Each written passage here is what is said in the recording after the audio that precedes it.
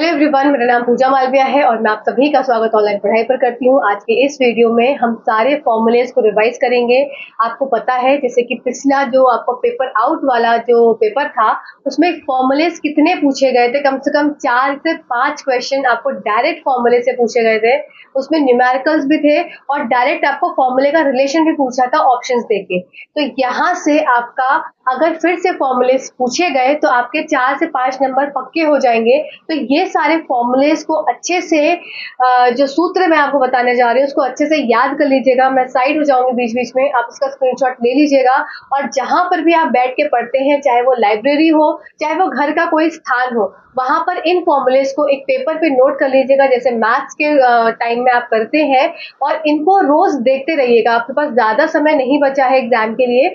बस आपको एक सरसरी निगाह देखनी है। जैसे ही आप पानी पीने उठे, आप वॉशरूम के लिए उठे, कैसे भी उठे, आपको सिर्फ़ उठने से पहले एक बार सरसरी निगाह दे देनी है, जिससे कि आपको ये फॉर्मूलेज भूले ना। इसी तरह से फॉर्मूलोज को याद किया जाता है और फिर एक दो बार लिख कर देख लीजिएगा तो कभी नहीं भूलेंगे। चलिए आइए सीधा सेशन को स्टार्ट कर देते हैं। इससे पहले के सेशंस नहीं देखे हैं तो जाओ, जाकर देख लो।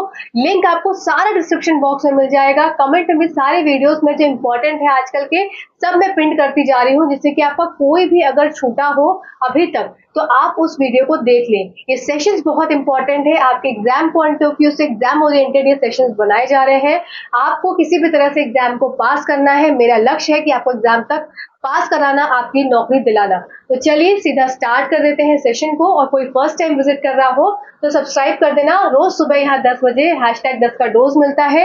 डेली आपको ये वीडियो मिलते रहते हैं। चलिए आइए, जल्दी से कर लेते हैं। तो सबसे पहली बात करते हैं मोशन गति वाले चैप्टर से। आपकी जो इंपॉर्टेंट फॉर्मुलेज हैं आपका औसत स्पीड औसत चार्ज ज्ञात करने के लिए तो कैसे करते हैं? कुल दूरी अपॉन में कुल समय।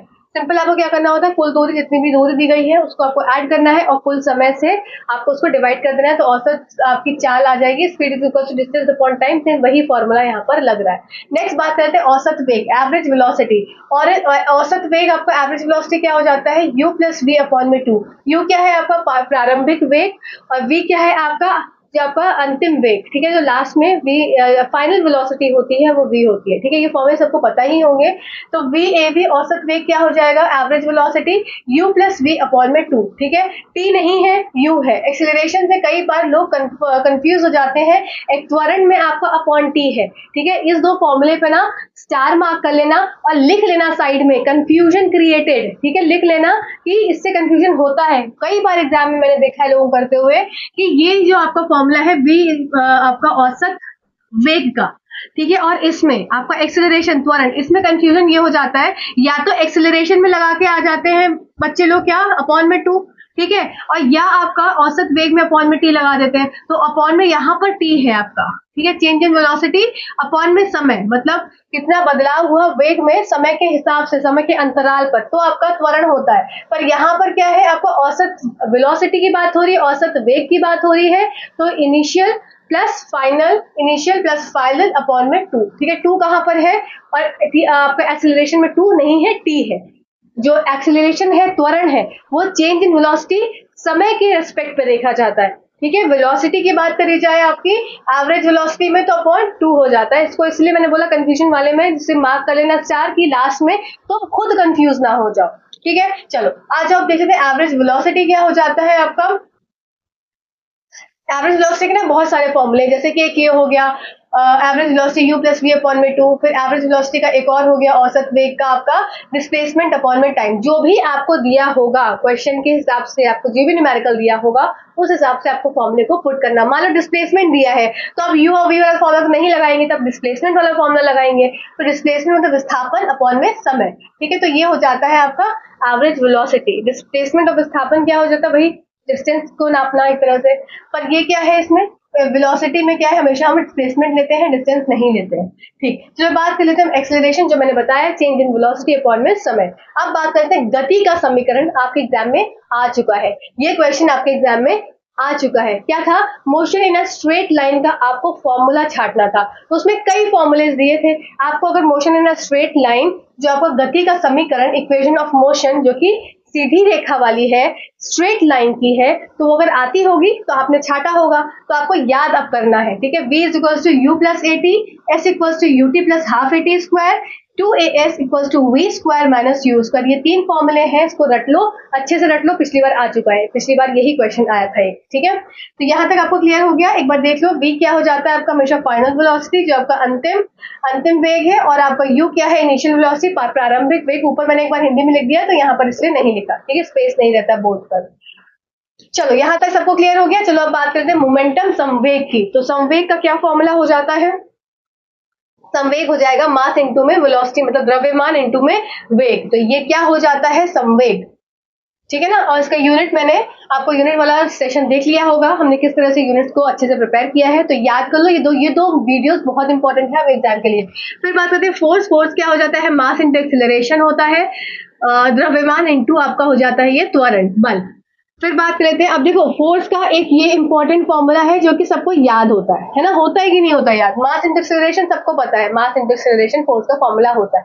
एक और फोर्स का फॉर्मूला आप याद रखेंगे, क्या क्या मैंने बोला कि mass into acceleration mass into में एक्सिलरेशन और एक्सिलरेशन क्या था आपका formula change in velocity upon में टाइम तो यहाँ पर अगर मैं लिख दूँ कि mass into V minus U upon में टी तो अगर आपको इनिशियल और फाइनल वेलोसिटी के हिसाब से कोई एक वेलोसिटी दे के रखी है क्वेश्चन में तो आपको ये वाला फॉर्मूला लगाना पड़ेगा। तब आपको त्वरण ना देकर क्या करेंगे? वो कभी कभी क्वेश्चन में क्या होता है ना, त्वरण ना देकर, त्वरण नहीं दिया है और उसकी जगह पर चेंज इन वेलोसिटी दिया है। क्या यू और वी दिया है? क्या यू दिया है? आपको फाइनल निकालना है। तो आपको ये रिलेशन अगर पता होगा, और ये रिलेशन आया कैसे? एक्सिलेशन की जगह सिर्फ़ हमने क्या रखा? एक्सिलेशन का फॉर्मूला रख दिया।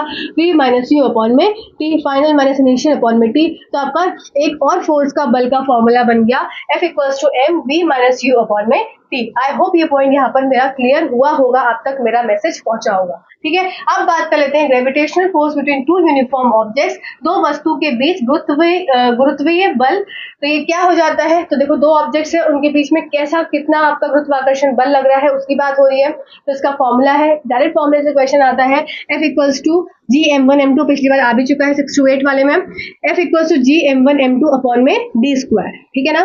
तो ये डी क्या है? ये दूरी है। पिछली बार क्वेश्चन आया है इससे भी, इस वाले टॉपिक से।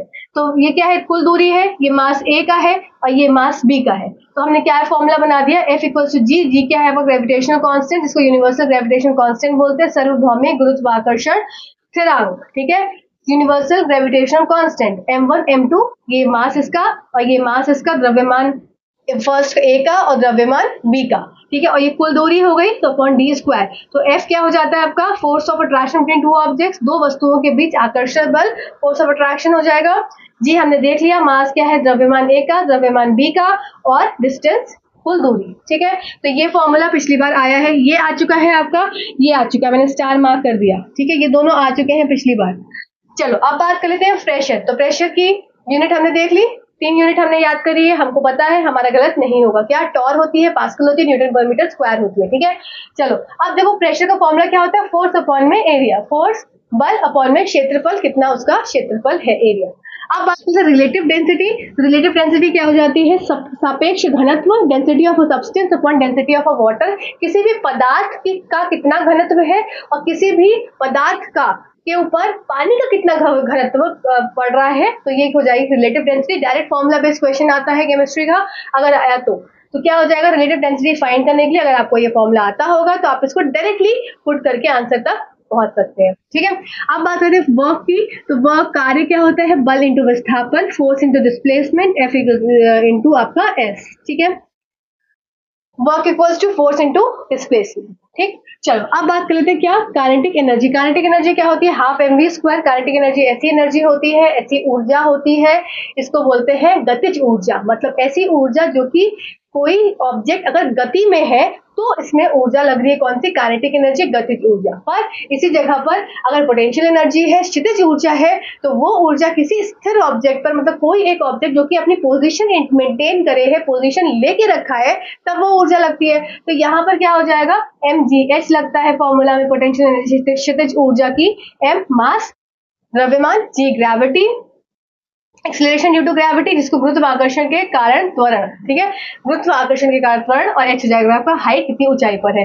और ये हो जाता है इसका काइनेटिक एनर्जी को हाफ़ एम वी चलिए आइए आपके एग्ज़ाम में ना एक क्वेश्चन आता है जिसमें कि काइनेटिक एनर्जी आपके क्षितिज सॉरी गतिज ऊर्जा और मोमेंटम संवेग के बीच में एक रिलेशन पूछते हैं। कैसा क्वेश्चन रहता है? देख लेते हैं दस तो काइनेटिक एनर्जी का फॉर्मूला क्या हो जाएगा? Kinetic energy is equals to half M V square ये सबको पता है?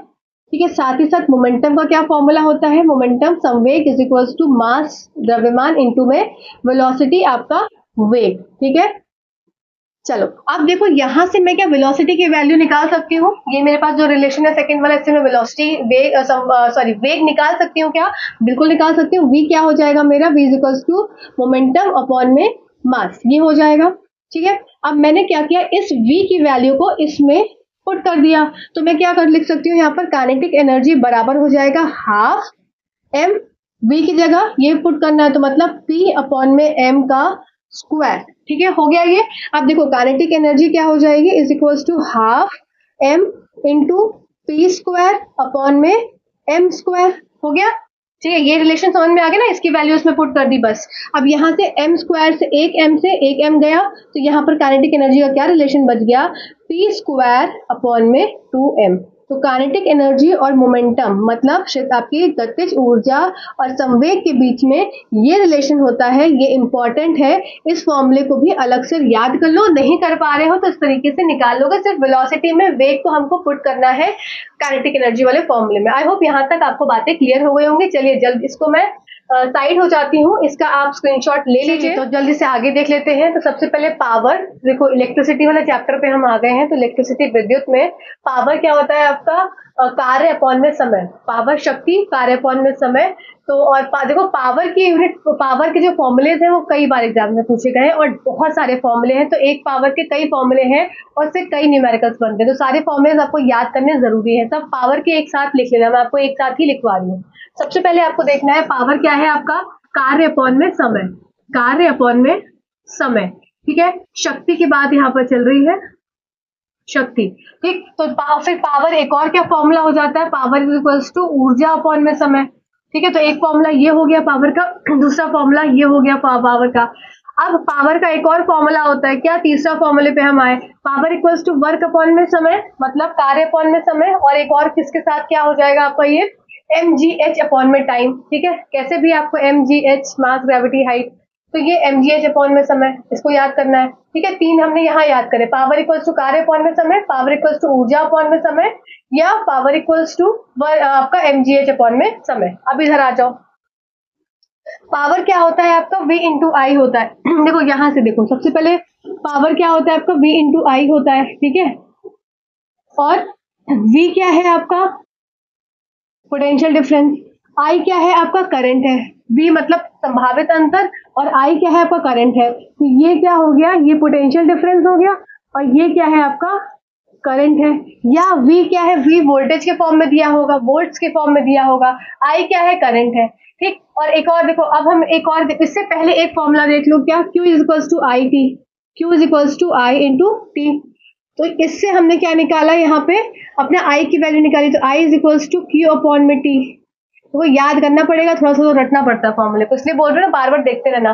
तो आई की वैल्यू क्यू अपॉन में टी आ गई। अब यहाँ पर मैं आई की वैल्यू क्यू अपॉन में टी लिख सकती हूँ? बिल्कुल लिख सकती हूँ। तो अब मेरा एक और फॉर्मूला बन गया, किसका? पावर का। तीन हम कर चुके थे, चौथा मेरे पास ये आया। Power is equals to V into I direct formula power equals to V into I voltage into या पोटेंशियल डिफरेंस इंटू आपका आई क्या करेंट ठीक है? चौथा फॉर्मूला कैसे बन गया हमारा? पांचवा सॉरी ये पांचवा फॉर्मूला बना ना ये वाला।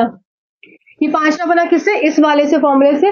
पांचवा बन गया power equals to V into Q upon में। टी अब देखो, हमने क्या क्या याद करा? पावर इक्वल्स टू ऊर्जा अपॉन में समय? ठीक, फिर अब छठा फॉर्मूला हमारा हो जाएगा power equals to I square R direct याद करना है। Power equals to I square R फिर देखो power equals to V square upon में आर तो ये सेवेंथ फॉर्मूला फिर ये ये power equals to V into I हम देख चुके हैं। तो यहाँ पे आपका फिर power equals to V into Q upon T ये भी हमने देख लिया ऊपर। तो इसको वापस से मत लिख, नहीं लिखे कंफ्यूजन हो जाएगा। तो देखो अब क्या क्या हमने देखा? पावर के हमने सात फॉर्मूले देखे। और ये सातों फॉर्मूले आपको पावर के याद होने चाहिए ठीक है? सेवन फॉर्मूले हैं सात पावर के। पावर इक्वल्स टू ऊर्जा अपॉन में समय पावर इक्वल्स टू कार्य कार्य अपॉन में समय power equals to MGH upon में आपका टाइम समय, ठीक है? फिर power equals to V into I फिर power equals to V into Q upon क्योंकि आई क्या था? क्यू अपॉन में टी था, ठीक है? फिर power equals to I square R फिर power equals to V square upon में आर तो ये सारे फॉर्मूले किसके हैं? पावर के ठीक? यहाँ तक सबको क्लियर हो गया होगा स्क्रीनशॉट ले लो उसका, सब लोग। अब देखो, अब हम यहाँ पर पहुँचते हैं। एक किलो वॉट में कितने वॉट होते हैं? एक हज़ार वॉट होते हैं। या एक किलो वॉट में एक हज़ार जूल पर सेकेंड होते हैं, ठीक? अब देखो एनर्जी इसको तो पावर देखो power equals to energy upon में टाइम है पावर शक्ति ऊर्जा अपॉन में समय। तो इससे शक्ति की वैल्यू निकाल सकते हैं एनर्जी को टू पावर इंटू टाइम हो जाएगा फॉर्मुला डायरेक्ट इससे हमने इसको निकाल लिया। ठीक है, आप देखो वन किलो वॉट आर क्या हो जाता है आपका? थ्री इंटू सिक्स पास सिक्स जूल ये रिलेशन आपको याद रखना ज़रूरी है कि अगर ये किलो वॉट आवर में है, ठीक है किलो वॉट आवर में है, कितना? Three point six into ten power six joules एक यूनिट कितने के बराबर होती है? एक किलो वॉट के बराबर होती है ठीक? अब देखो साउंड की आ गई ये हमारा यहाँ पर खत्म हो जाता है। अच्छा इलेक्ट्रिसिटी कर रहे हैं इलेक्ट्रिसिटी के और, और सारे मैं आपको करा देती हूँ साथ ही साथ। देखो सबसे पहले हमने क्या देखा? Q is equal to I T charge equal to current into time तो ये क्या हो गया? चार्ज आपका आवेश का फॉर्मूला हो गया जो कि आपका प्रवाह इंटू में समय ठीक? क्यू से Q equals to I into T इससे हमने ये वाला फॉर्मूला भी निकाला था। निकाला था? और याद कैसे मैंने आपको करवाया था, अगर आपने इलेक्ट्रिसिटी का चैप्टर देखा होगा कि is equals to I into T मतलब क्विट कोई चीज़ क्विट कर दी। तो क्विट से हमने याद किया था Q equals to I into T अब पोटेंशियल डिफरेंस संभावित अंतर। संभावित अंतर के से आपका एग्ज़ाम में आया था क्वेश्चन ठीक है? एक संभावित अंतर से क्वेश्चन आया था। एक आपका जो मैंने पिछले बताया दो क्वेश्चन वहाँ से आए थे। फिर एक है आपका power equals to V into I ये वाला फॉर्मूला पूछा था। तो ये सोचो मतलब पाँच क्वेश्चन आपके फॉर्मूले से ही आए थे डायरेक्ट फिर क्या हो गया? देखो पोटेंशियल डिफरेंस क्या हो जाएगा? वर्क डन अपॉन में चार्ज कितना का काम किया गया और कितना उसमें आवेश लगा। तो ये हो जाता है पोटेंशियल डिफरेंस V से डिनोट करते हैं। V is equal to W upon में Q बहुत इंपॉर्टेंट फॉर्मूला है। कई बार एग्ज़ाम्स में रिपीट हुआ है। ठीक है? संभावित अंतर। अब देखो, अब इसके बाद जूल्स लॉ ऑफ़ हीटिंग है। जूल्स का नियम उष्मा का। क्या है? H equal to I square R T उष्मा की मात्रा को नापने के लिए क्या हो जाता है? ये अमाउंट ऑफ़ हीट तो एच क्या है आपका? अमाउंट ऑफ़ हीट तो अमाउंट ऑफ़ हीट निकालनी है तो I square upon into R T I क्या हो गया? करंट हो गया आर हो गया रेजिस्टेंस प्रतिरोध, और टी हो गया आपका समय। ठीक है? ये जूल्स लॉ ऑफ़ हीटिंग है H square H equals to I square R T याद कर लो H equals to I square R T H amount of heat कितना ऊष्मा की मात्रा है, और आई क्या है? करंट है आर रेजिस्टेंस टी टेम्परेचर ठीक है? चल सॉरी टाइम टेम्परेचर नहीं टाइम अब ओम्स लॉ ओम्स लॉ क्या होता है? आपका ओम्स का नियम। ओम्स का नियम V equals to I R ठीक है फॉर्मूला है। और हमेशा कैसे आता है ग्राफ स्ट्रेट लाइन आता है। उसका स्लोप क्या बताता है? ये अगर ये ग्राफ है, ये इसकी स्ट्रेट लाइन है, ये वी है और ये आई है तो ये क्या बताता है? ये स्लोप क्या बताता है इसका? इसका स्लोप बताता है रेजिस्टेंस प्रतिरोध को, ठीक है? चलो, अब आर का क्या फॉर्मूला हो जाता है? रेजिस्टेंस का रो एल ओवर ए रो क्या है इसमें? रेजिस्टिविटी प्रतिरोधकता, ठीक है? आर क्या है? रेजिस्टेंस प्रतिरोध। ठीक रेजिस्टेंस अब कोई भी रेजिस्टेंस कोई भी प्रतिरोध को अगर श्रृंखलागत लगाएँगे तो क्या फॉर्मूला हो जाएगा? R S is equal to R one plus R two plus R three और किसी भी रेजिस्टेंस को, प्रतिरोध को अगर समानांतर स्थिति में लगाएँगे तो क्या हो जाएगा? One upon R is equal to one upon R one one upon R two one upon R three अब देखो, एक एक क्या क्वेश्चन आया था एग्ज़ाम में कि मैक्सिमम सबसे सर्वाधिक आपको प्रतिरोध बताना है तो सर्वाधिक प्रतिरोध बताना होगा तो आप ये वाला फॉर्मूला लगाएँगे मैक्सिमम में हमेशा श्रृंखलागत और मिनिमम में आप लगाएँगे कभी भी रेजिस्टेंस को पैरेलल ठीक है? जब भी न्यूनतम पूछा जाए तो पैरेलल रेजिस्टेंस का लगा देना फॉर्मूला और सर्वाधिक पूछा जाए, अत्यधिक पूछा जाए मैक्सिमम पूछा जाए तो हो जाएगा आपका सीरीज़ में सारे रेजिस्टेंस हो जाएँगे, ठीक है? इसको वापस स्क्रीनशॉट ले लो कुछ लेना हो किसी को तो। चलो, अब आ जाओ, आपका क्या बचता है? साउंड बचता है और आपका लाइट वाला चैप्टर बचता है, ठीक है?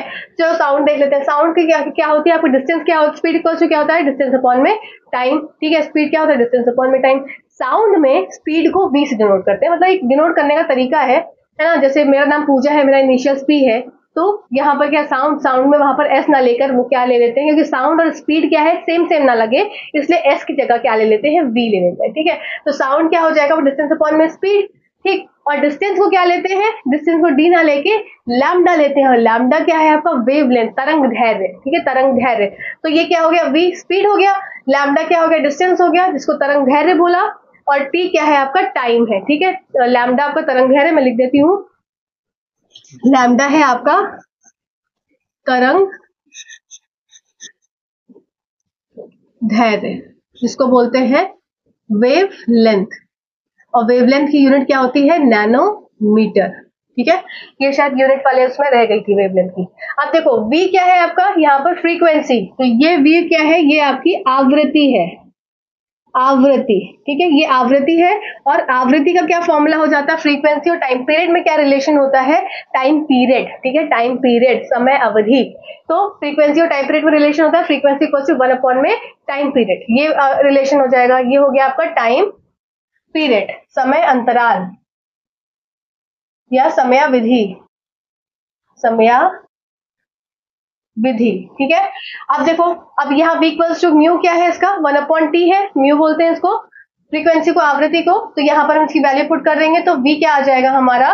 वी लैमडा पॉइंट टी तो लैमडा पॉइंट टी की जगह क्या लिख दिया? म्यू लिख दिया। तो एक रिलेशन निकल कर आया। स्पीड आपका वेवलेंथ और फ्रीक्वेंसी में बहुत इंपॉर्टेंट है। क्या मैंने बोला?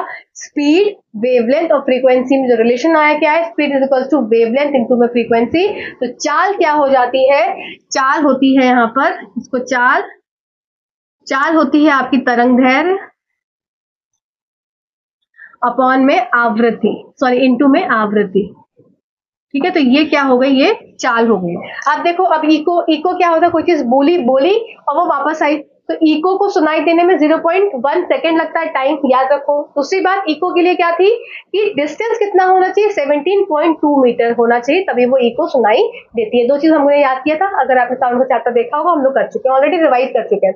तो इको की डिस्टेंस कैसे निकालेंगे? डिस्टेंस का फॉर्मुला क्या हो जाता है? डिस्टेंस या स्पीड डिस्टेंस अपॉइंट में टाइम तो दूरी क्या होता है? समय इंटू में सॉरी हाँ समय इंटू में चार speed distance equal to speed into time अब देखो, अब यहाँ पर क्या करते हैं? जो भी दूरी याद रखो की पॉइंट में स्टार मार्क करो, किसी भी कलर से मार्क करो मार्क पर करो। मेरे साथ तुरंत मार्क करो।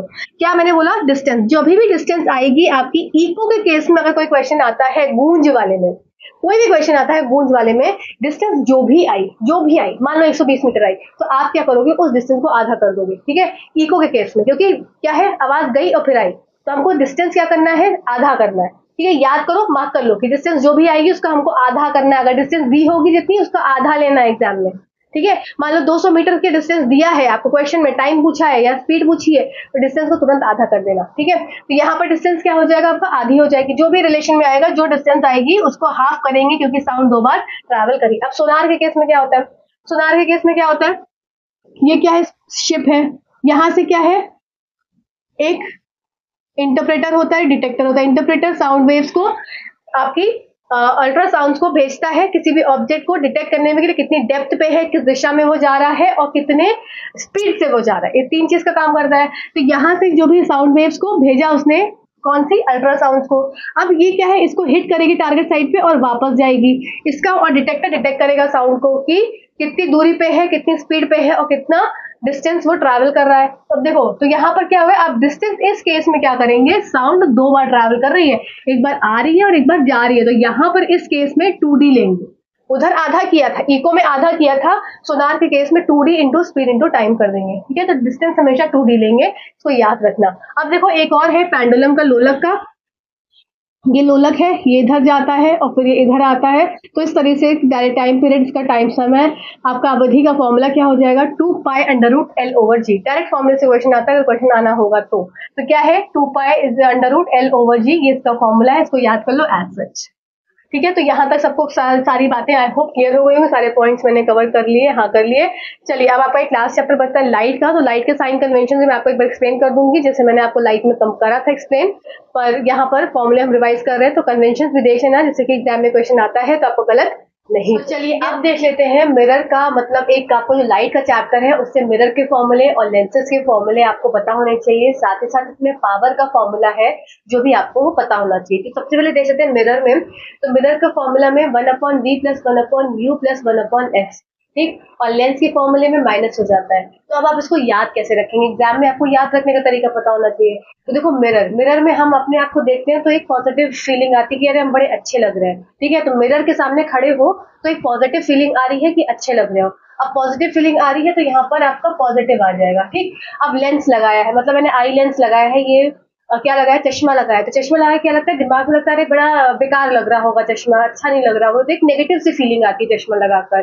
ठीक है तो आपको नेगेटिव फीलिंग से याद रखना है लेंथ को। तो लेंथ रहेगा तो यहाँ पर one upon V minus one upon U हो जाएगा। बी क्या होता है आपका? इमेज की डिस्टेंस ठीक इमेज की डिस्टेंस होती है और यू क्या होता है? ऑब्जेक्ट का डिस्टेंस मतलब प्रतिबिंब की दूरी और ऑब्जेक्ट क्या है? वस्तु की दूरी। ठीक वी वी आपकी इमेज पहले आ जाती है और ऑब्जेक्ट पीछे रहेगा। ठीक है ना? तो इस हिसाब से वी पहले रहता है वी पहले रहता है यू बाद में आता है। अल्फाबेट्स में यू वी होता है, पर इसका यहाँ पर उल्टा हो जाता है वी पहले और यू बाद में। ठीक है? यू माइनस वी मत कर देना। यू माइनस वी वाला मत कर देना। वी माइनस यू है। ठीक है? तो ये आपका फॉर्मूला हो गया one upon V plus one upon U is to one upon F और लेंथ का फॉर्मूला क्या हो गया? One upon V minus length negative part हो गया। मतलब एक याद करने का तरीका है। One upon U is to one upon F अब मैग्निफिकेशन आवर्धन इसका क्या हो जाएगा? किसका? आपका मिरर का, और इसका लेंथ का अलग है। देखो, इसमें क्या है? नीचे देखो एच डैश क्या है? हाइट ऑफ़ द इमेज मतलब कि जो प्रतिबिंब है उसकी ऊंचाई। और ऑब्जेक्ट की हाइट तो एच डैश से आपकी इमेज की हाइट से, और एच मतलब एच डैश अपॉन में एच और माइनस यहाँ पर लग जाएगा वी अपॉन यू तो मिरर वाले केस में मैग्निफिकेशन में माइनस लगेगा, उल्टा हो जाएगा। और इसमें क्या लगेगा? प्लस हो जाएगा मैग्निफिकेशन में, ठीक है? वी अपॉन यू रहेगा। तो मैग्निफिकेशन दोनों का एक जैसा ही रहता है फॉर्मूला एच डैश ऊपर रहता है, याद रखना इमेज अब एच डैश कैसे याद रखोगे? जैसे, देखो इधर देखो, सब लोग ध्यान से देखो ये सर्कल को। एच डैश लिखा है, इसका मतलब कुछ आई जैसा लगा है। तो आई जैसा लगा है मतलब इमेज की बात हो रही है। तो एच डैश क्या है? इमेज तो इमेज पहले आएगी। ठीक है? इमेज देखो, इस वाले फॉर्मूले मिरर फॉर्मूले में इमेज पहले आई थी। इसमें भी इमेज पहले आएगी, ऊपर इमेज फिर ऑब्जेक्ट पहले इमेज फिर ऑब्जेक्ट पहले इमेज फिर ऑब्जेक्ट पहले इमेज फिर ऑब्जेक्ट ठीक है? तो एच डैश अपॉन में एच और वी अपॉन में यू पहले इमेज फिर ऑब्जेक्ट पहले इमेज फिर ऑब्जेक्ट हर चीज़ में पहले इमेज आ रही है, फिर ऑब्जेक्ट आ रहा है, ठीक है? याद करने के सब तरीके हैं एग्ज़ाम में गलत ना हो इसीलिए। चलो तो एक में क्या हो गया? माइनस हो गया और इधर प्लस हो गया, इधर प्लस था तो इधर माइनस हो गया क्रॉस कर देंगे इधर से चलो, अब देख लेते हैं क्या? आपका इमेजेस जो देखो इमेज अगर वर्चुअल बन रही है और रियल बन रही है मतलब वर्चुअल आभासी या, देखो आभासी के साथ क्या चीज़ होती थी हमेशा हमने, मैंने आपको बताया भी था कि अगर आभासी इमेज रहेगी तो साथ ही साथ इसके साथ क्या रहेगा? सीधी जिसको इंग्लिश में अगर मैं बोलूँ तो ये हो जाएगी वर्चुअल और इधर क्या हो जाएगी? इरेक्ट ठीक है तो वर्चुअल और इरेक्ट हमेशा साथ में आता है इसी जगह पर। रियल और इन्वर्टेड रियल एंड इन्वर्टेड इसके लिए? वास्तविक और उल्टी। ठीक है तो ये दो वर्ड साथ में आते हैं। अब अगर इमेज बन रही है क्या? वर्चुअल और इरेक्ट इरेक्ट मतलब सीधी इमेज बन रही है। ठीक है इमेज सीधी बन रही है तो क्या आपको यहाँ पर लेना है? तो देखो एच डैश क्या था हमारा? आई ऑब्जेक्ट का था सॉरी इमेज का था आई से, और एच क्या था? ऑब्जेक्ट का था। तो ऑब्जेक्ट तो हमेशा पॉजिटिव रहेगा ऑब्जेक्ट तो हमेशा क्या रहेगा? ऊपर इधर साइड रहेगा।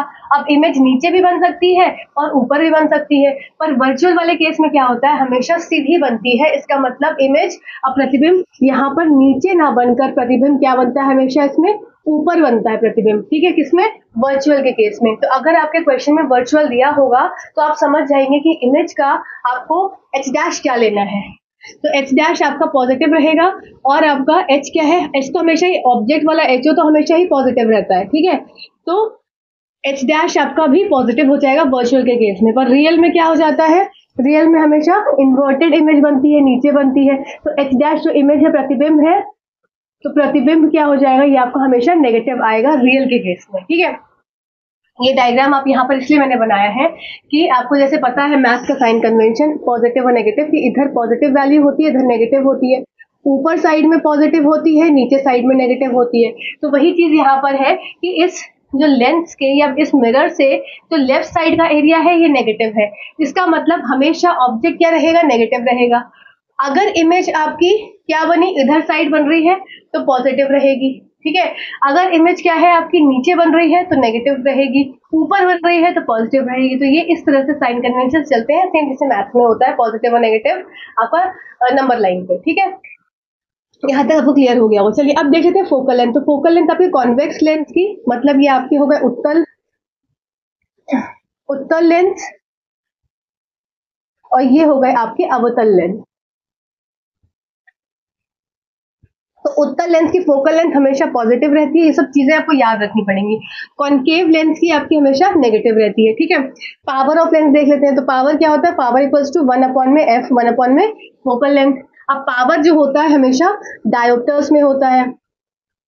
पावर हमेशा डायोप्टर्स में होती है। इसके साथ साथ आपको कुछ डिस्टेंस अगर दिया होगा या फोकल लेंथ की दूरी दी होगी तो हमेशा वो मीटर में रहेगा। तो इसका मतलब डायोप्टर्स के साथ एक और वर्ड हमेशा एक और टर्म हमेशा यूज़ होता है, जो कि है मीटर्स अगर कोई भी वैल्यू सेंटीमीटर में दी होगी तो आपको उसको मीटर में कन्वर्ट करना होगा, क्योंकि पावर डायोप्टर में आती है तो डायोप्टर में मीटर की मतलब मीटर रहता है, ठीक है? चलो, अब देख लेते हैं क्या लेंस तो लेंस अगर आपका कॉन्वेक्स लेंस है मतलब वो उत्तर लेंस है तो पॉजिटिव उसकी पावर रहेगी और अगर आपका अवतल लेंस है तो उसकी नेगेटिव पावर रहेगी, ठीक है? अब देख लो तो एक और फॉर्मूला जो आपके एग्ज़ाम में आया था, क्या था? पावर का कॉम्बिनेशन ऑफ़ लेंसेज तो ये किसका फॉर्मूला हो गया? ये आपका कॉम्बिनेशन ऑफ़ लेंसेज का फॉर्मूला हो गया.